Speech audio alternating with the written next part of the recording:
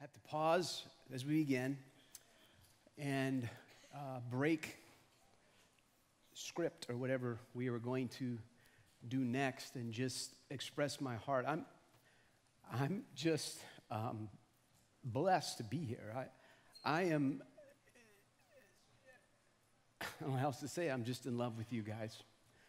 I, I, I am blessed to be here and I'm honored to just be in this city and at this church. I, I, I, was feeling this all morning, and now we should be going to this Advent sermon and we should be going to my jokes and things like that. But uh, the Spirit leads, and you have to follow.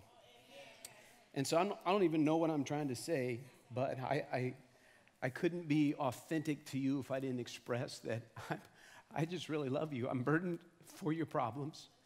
Um, I wish I could do more. Uh, I am just really grateful to be in this city at this church. I, I, mean, I get to sit on the front row and watch my daughters and my son in law just praise the Lord. Why aren't you guys sitting together? Is there. Just, uh, I just recognize that.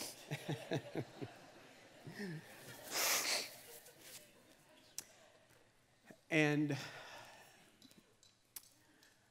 I just want more for you. I, I wish I had the ticket, you know, that, that was your ticket to heaven and, and, and God's way. I, I wish I could do it for you. That's just my desire. And um, it, it might not fit, but it doesn't matter because it's just, we're family. We love one another. And we have been called to this city. We've been called together. And so just just transparent moment. I, I just was very, um, all morning, I, I don't know what God has to say to us today. I really don't. I don't know what this encounter and this experience, you know,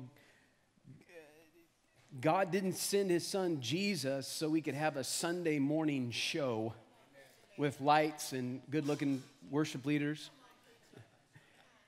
God sent his son Jesus to give us life, abundant life, a life of joy and a life of of just being thankful. And I'm thankful, Th- just thankful to be um, your friend and, and, your pastor. And we, we had a week. We had life come this week. We had death come this week. We had members with guns to their heads being stolen from this week. We had a week. And we're in this together. In the name of Jesus, love is born and, and hope is here. Amen. All right, let me get myself together. All right, very good. Sixth, seventh, and eighth graders, you can be dismissed. Thanks for being here, young people. Uh, it is a year in giving uh, time, and if you've ever been to a summer camp or you've been on a mission trip, you know how it's impacted your life. If you're looking for something to give here at the end of the year, a year in giving, uh, our youth uh, directors would love to um, have donations to summer camps and mission trips. You just want to write a check for $50, $100, $5, um, and just mark it in the memo youth camp or youth retreats or youth uh, mission trips. Jarvis and Hannah would be blessed if you're looking for a year in giving option. Um, on that moment, just a little, this isn't a part of the sermon, so don't, don't, don't start timing, okay? Um, I want to give you a little update on our faced, faced, face to face, a facelift campaign. We have been raising money um, to improve our campus, and you are sitting on generosity this morning. Uh, through that generosity, we were, be, uh, were able to do this. We were trying to raise $200,000 in three months to um, give our property uh, a, a, facelift. And I want to give you a little bit of a, an update, if that's okay. And if it's not, um, you'll, you'll, you'll be okay we have received $72,000 in cash of the $200,000. 72, those aren't clapping, or you were reaching for your wallets, right? You're doing something. $72,000 in cash. Amen. Um, we've had some companies also donate some things, and they're humble men and women, and they don't want their names to be um, said. But we had a, a flooring uh, company give us an, an incredible discount on this flooring and our future flooring.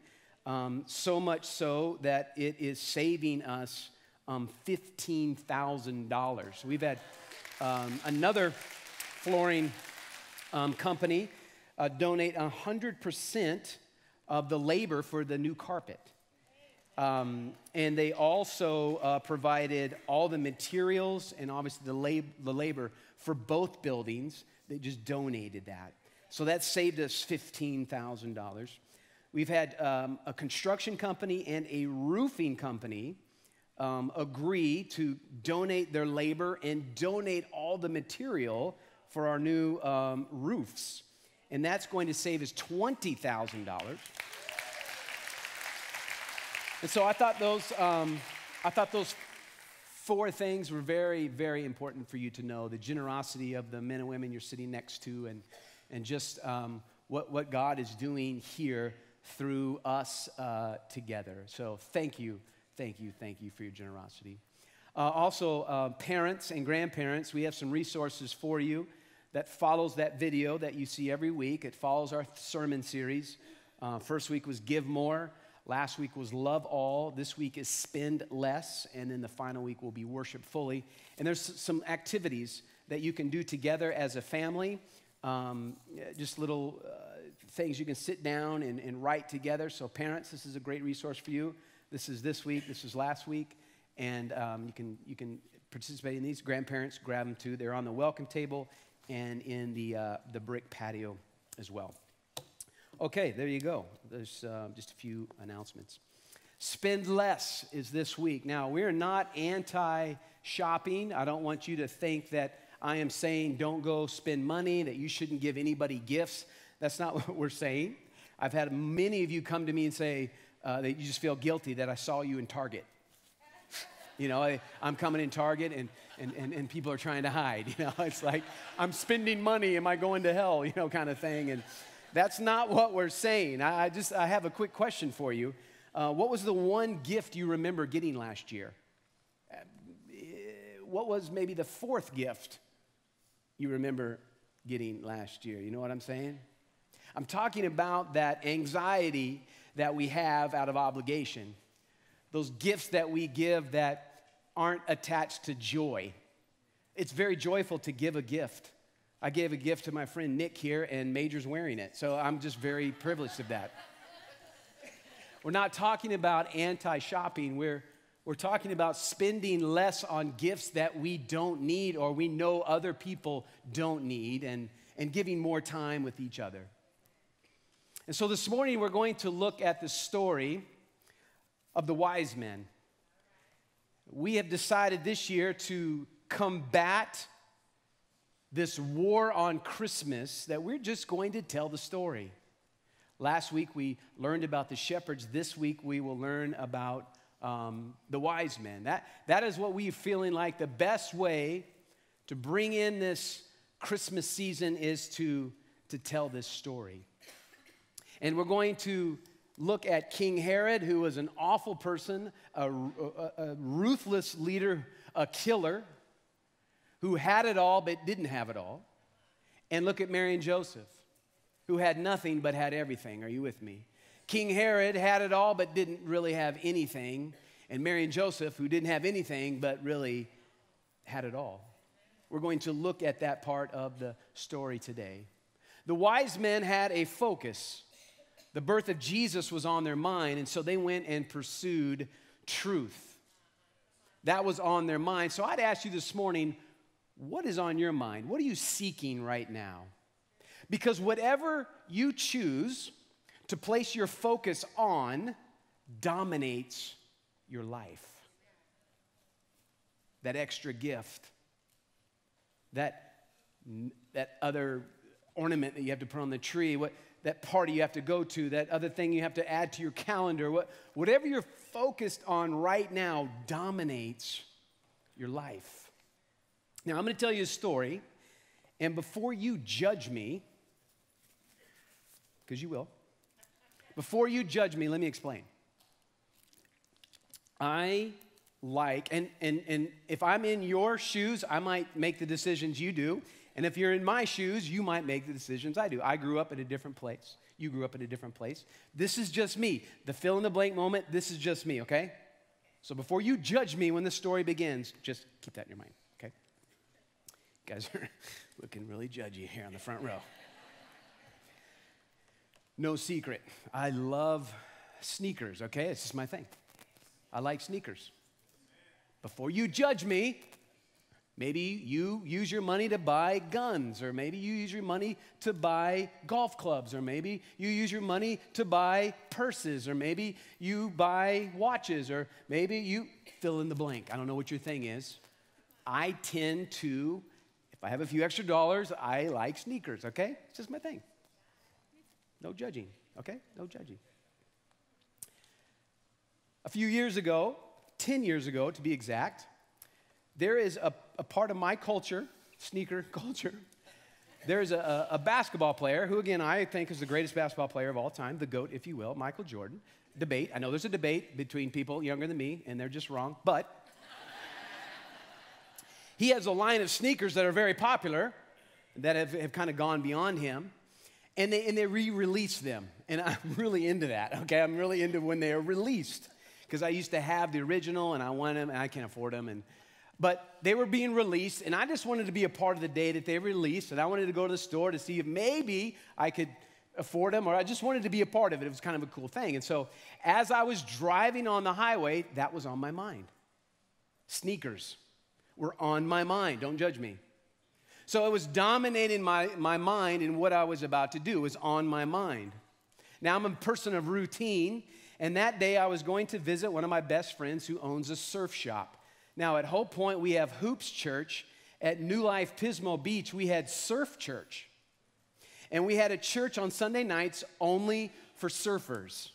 Now, my brother Matt and I, uh, I was invited, Matt wasn't. I was the only non surfer invited to this surf church. I've only surfed once. Only surfer invited to this surf church. I was called a kook or a poser or a pretender. I'm not a surfer. I wear surfer type clothing sometimes and shirts. I like the brands. But they invited me to be a part of the surf church. I love the surf church. And so every week I would go visit our pastor of the surf church who owned a surf shop. Are you with me? I know this is getting longer. So I'm on the highway and I'm just thinking about sneakers and I got to do this and then I got to go check out my sneakers.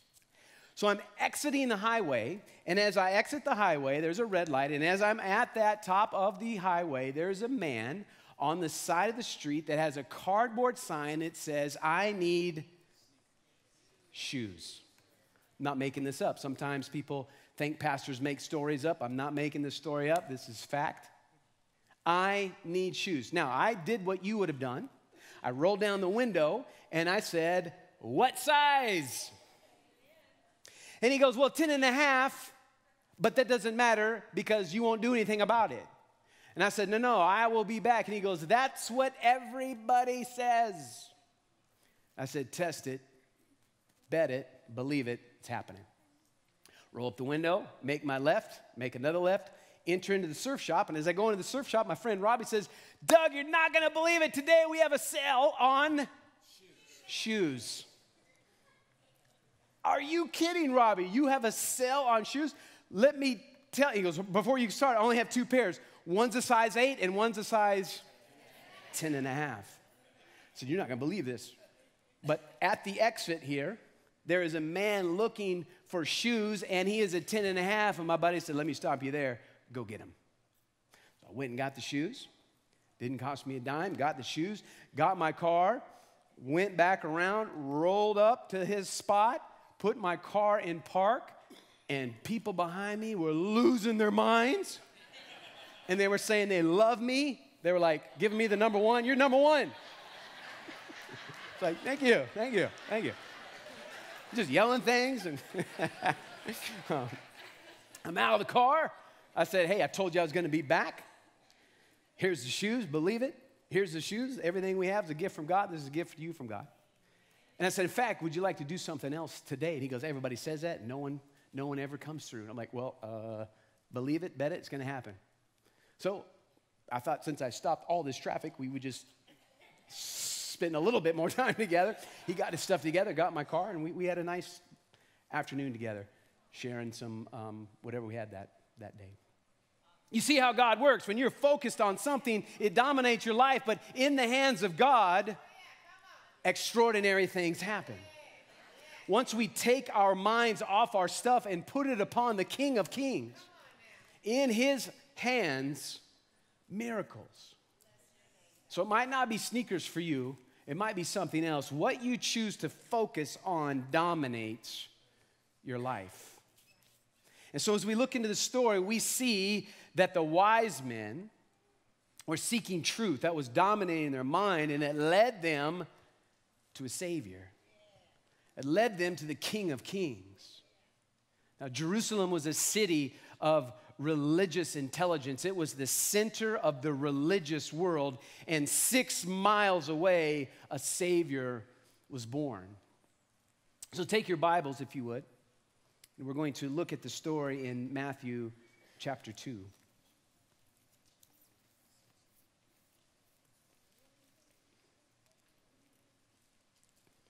Spending less isn't a call to stop giving gifts. It's a call to stop spending money on gifts we won't remember next year.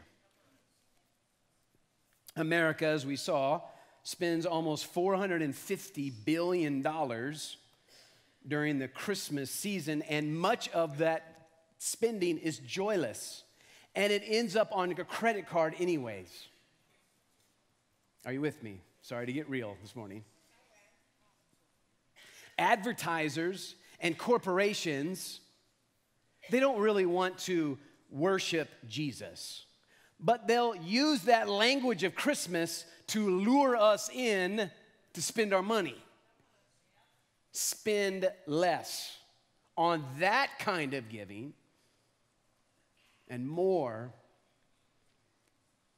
in the presence of God the presence of others. That's what we're saying when we say spend less. By spending wisely on gifts, it's going to free you from that anxiety that's associated with debt.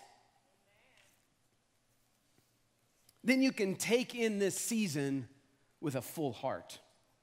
You can take in this season for what it really represents the birth of a Savior, the birth of a chain breaker, the birth of the Messiah who came to set you free from your past, from your worry, from your fear, from your anxiety.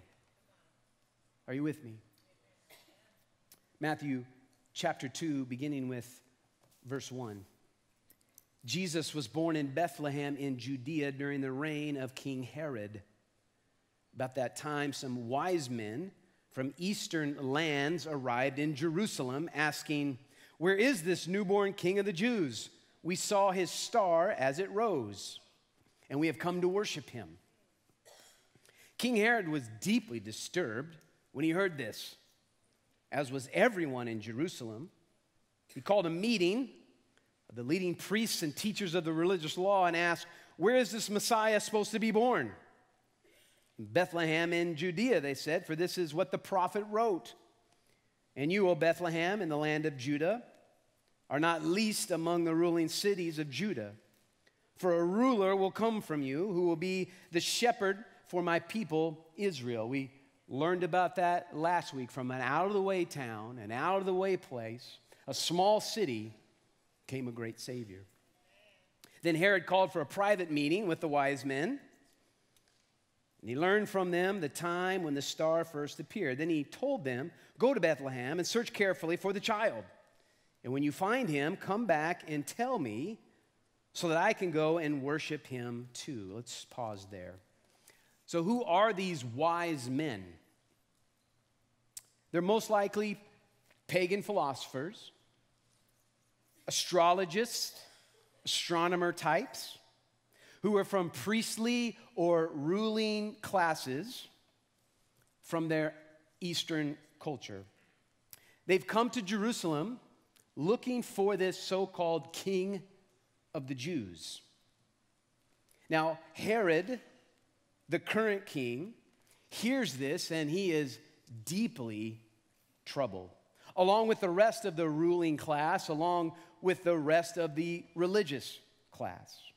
So Herod gets these wise men together, these scholars, to verify what's happening. And they verify from the ancient prophet that from Bethlehem, the Savior will be born. So then he calls the wise men in secret and says this Go search for this child. And as soon as you find him, tell me where he is so that I can go worship him. Now, if this sounds shady, it is. On one hand, he's very intimidated by the birth of the king of the Jews. He's, he's very frightened by this king of kings who is coming to save the Messiah. Then, on the other hand, he wants to go see him and worship him, which is a lie. You see, Herod was not a good guy. Herod is a ruthless killer. He is deeply troubled, along with all of those who are in power, because of this Savior and this King of Kings. Herod, we read later, goes to great attempts to find this child. He kills family members. He had a plot to kill everyone in a stadium. Herod is, is not a good guy, he is a ruthless killer. He is wanting to find the Savior for a, a different purpose, but masking it in this I want to go and worship him. He's using language that makes you think he wants to worship, but in his heart, he has different intentions. But part of his brilliance and part of his power is he gives the religious crowd what they want. He builds them, he rebuilds them a temple. But he became a paranoid leader a paranoid tyrant. He had everything, but it wasn't enough. He had everything and had nothing. Now, this is an age old story. Having everything, but having nothing. Having it all, but having nothing at all. And interestingly, Anxiety and fear seem to go together. Anxiety and fear seem to always go together, yes? Having everything, yet because of fear and anxiety, you actually have nothing. You could be the most powerful man, the richest man in the world, as Herod and still be dominated by anxiety and worry to the point where it chokes out all the life around you. Something shady. He wants to go and find the King of Kings, but he has a different intention in his heart. A man who has everything, yet nothing. And it causes this anxiety and this fear and for chaos to be a part of his life. Look at Mark 8 36. Mark 8 36. This is a perfect definition of Herod's life.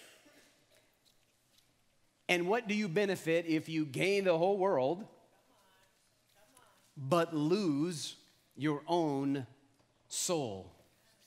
Seemingly having everything, but nothing. What's the everything in your mind? What is dominating your mind? What are you seeking? What do you think that you just cannot live without? You might sense when you get it that longing, that desire won't go away. Having everything, but having nothing. Now, compare this to Mary and Joseph, who quite literally had nothing. They have their baby in a stall or a barn or in a feeding trough, and yet they truly have it all. They have the one through whom all things were made. They have the Creator, the Savior, the Messiah, the Master. They are bringing the life of God into the world, and not many people are paying attention. No fame, no buildings.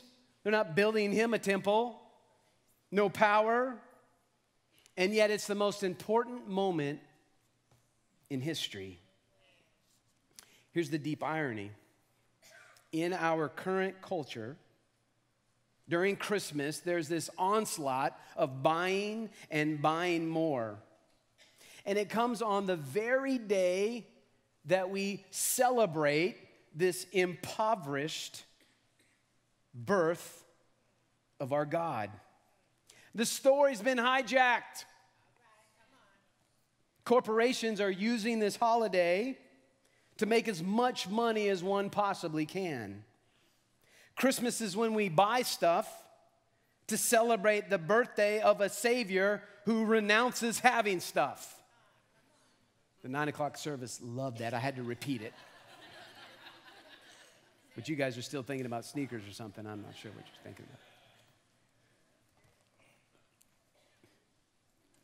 Buying stuff when we're celebrating the birthday of a Savior who renounces having stuff.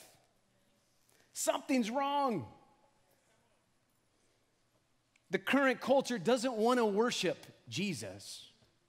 They just want to lure us in with the language to get what they want from us. Herod didn't want to go worship Jesus, he wanted to use it for his own agenda. Are you with me? Had everything, but yet nothing. Having it all more and more doesn't mean having life. Sorry, let me get off my little soapbox and let's get back to the story. Back to the wise men. Verse 9 After this interview, the wise men went their way. And the star they had seen, seen in the east guided them to Bethlehem. It went ahead of them and stopped over the place where the child was. When they saw the star, get this, comma, get this, underline this. When they saw the star, circle this, okay? All right. When they, uh, highlight this, please.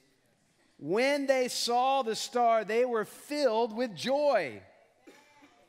They entered the house and saw the child with his mother Mary, and they bowed down and worshiped him. That's the call of Christmas. The joy of the Savior who has come to set us free. He has come to release you from the pain of your past. And we come and bow and worship Him. That is our focus, that dominant focus which influences our life. We don't come and bow and, and worship that fourth gift that we buy our aunt that already has everything. We come and we worship the King of Kings who has come to set you free. He has your best interest in mind, He has a plan for your life. You know what? That was breaking, that's what was breaking my heart today. I know a Savior and He knows your name. You know how I remind myself that, that way? And I know this is really cheesy, but I have all my name tags in my Bible. all right, see this name tag here? I'd like you guys to start wearing name tags, by the way. I have these name tags in my Bible. This reminds me that Jesus knows my name. And I'm reminded by it every day. And He has a plan and He has an agenda for you. and you will never be the same. That is what brings us joy. Amen? And a Savior has been born, and we come and we bow and we worship Him. That is the true story of Christmas that the wise men found. Then they opened their treasure chests and gave him gifts of gold, frankincense, and myrrh. I'm not talking about not giving gifts. Sometimes it's a great expression to give gifts. It's It's very meaningful, yes? When it was time to leave, they returned to their own country by another route, for God had warned them in a dream not to return to Herod. Herod was not a good guy, and God came through and spoke to these wise men and through a dream and said, That guy's a ruthless guy. God has our back, God will come through. Yes, Amen. So Jesus was born six miles outside of Jerusalem. Jerusalem was the epicenter of religious activity at the time of Jesus' birth. All kinds of spiritual activities were taking place in Jerusalem. All the major religious leaders of the world were in Jerusalem, but none of them were seeking Jesus. Six miles away, in their midst, but they were missing it. They were not seeking Jesus. Who was seeking Jesus? It was the people on the outside. From a different culture, the wise men, shepherds who are on the margins of society. God does his best work on the margins. God does his best work in an upside down kingdom. God does his best work in a counter-cultural way. Amen.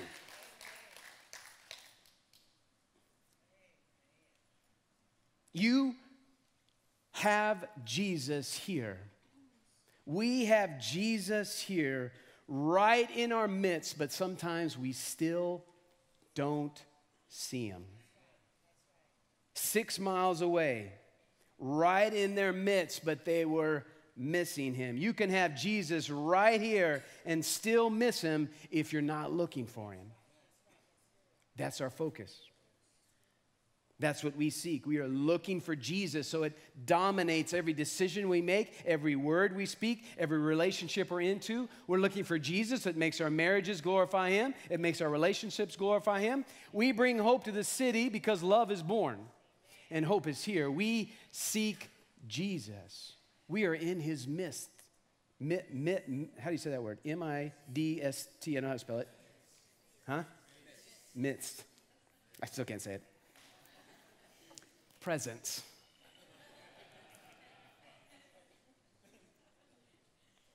Right here.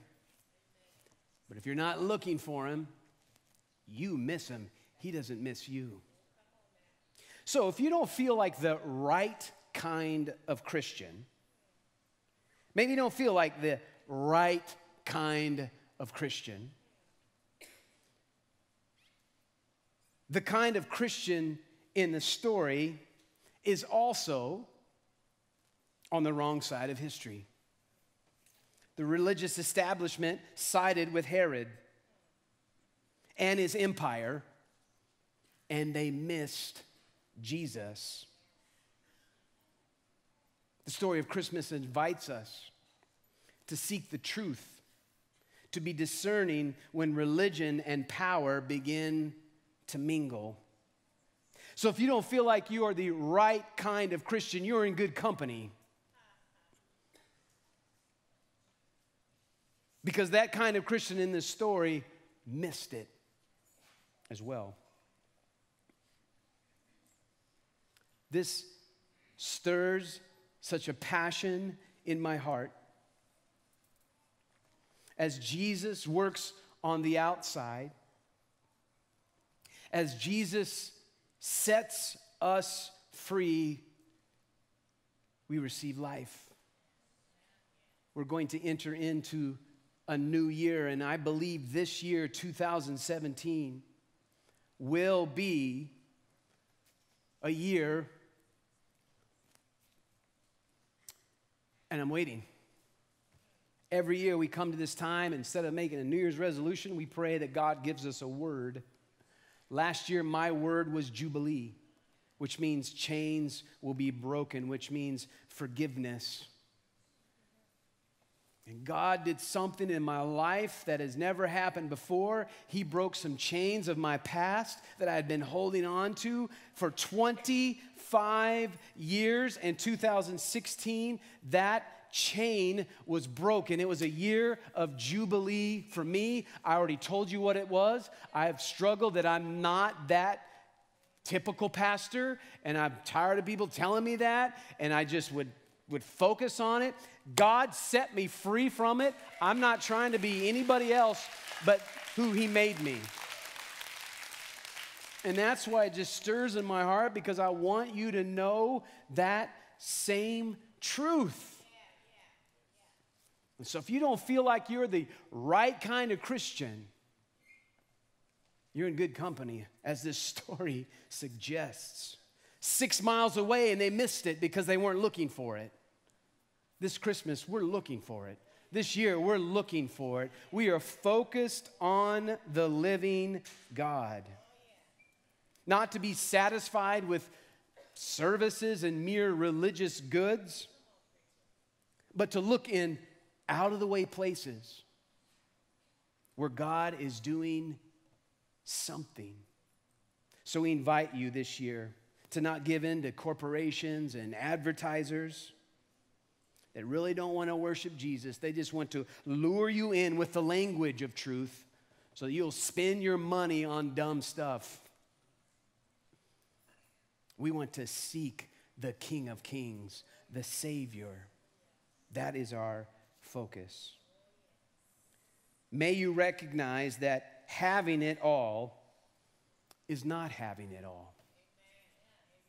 Having Jesus is all that we need. Amen. And so may your truth be found in the words and ways of Jesus. And so may your truth seeking lead you to Jesus. And may you be captured by this wonder around this different kind of king who represents peace and love and grace and truth. That's a much better gift to open up than an Xbox. That's a much better gift to open up than anything you'll find at the mall. That is who he represents. He is in our presence or in our midst right now. Don't miss it. We're going to end our time with a word of prayer. We'll continue this story next week. And I want this prayer to be personal. What are you seeking? God has a gift for you that He wants you to open up that has His plan for you to set you free. God has a gift for you that He wants you to open up that will bring you joy, that will bring you hope. Make it personal, make it specific as you pray before we leave. What are you seeking? What are you focused on? Because it dominates your life right now. Sneakers or Jesus?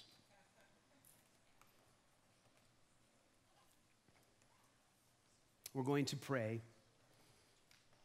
And following the prayer, have you just remain seated. We are going to uh, receive an offering for our sister church in Sacramento City, the Sacramento City Community Church. We introduced this to you last week. This is our Christmas project of the, the, the season. We're going to bless this, um, this inner city church that has great needs. And $5, $2, a quarter, it all matters. We want to give them and bless the church and their pastoral family with a gift this, this morning. But as we pray, make it personal. Let's pray. You are in our midst this morning, Jesus. Your presence is so aware to our hearts. You're stirring our hearts. Our desires to be focused on you, to be obedient to you, to be made available for you. We don't want to have the whole world and lose our soul. We don't want to miss it. You were born six miles outside of where all religious activity was taking place. They missed it. Open our eyes to the things that are not seen. Stir up this generation for your plan and for your purpose. We are hungry. Hungry for you. desperate for you. We can't take another step without you. We're at the end of our hope without you. But love came when you were born, and hope is here. We love you, Jesus. We pray these things in your name. Amen. As the plates are passed, if, as they pass your